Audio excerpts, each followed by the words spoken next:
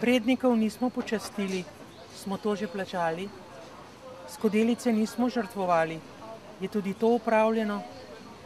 Ne si želeti oblakov, kadar sonce sije, ker potem res ne bo nikoli sonca.